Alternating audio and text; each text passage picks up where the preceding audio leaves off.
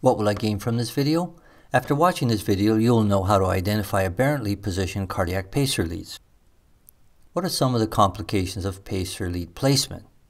Pneumothorax, pneumomediastinum, hydrothorax, hemothorax, hydromediastinum, cardiac tamponade, hematoma, arterial puncture, lead position within an artery, knot formation, the lead can break, and you can have diaphragmatic pacing.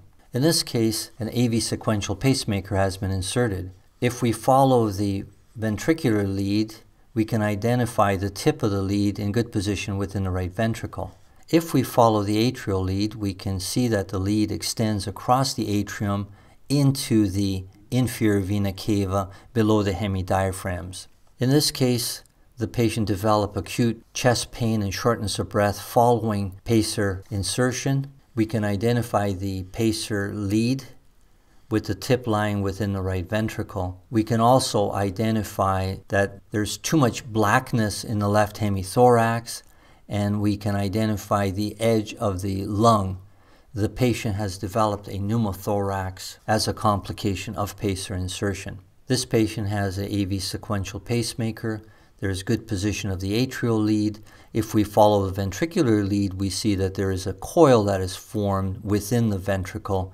The tip, however, lies in good position. In this case, if we follow this pacer lead, we can see the lead traversing through the atrium into the ventricle and then superiorly into the pulmonary outflow tract. This pacer needs to be repositioned.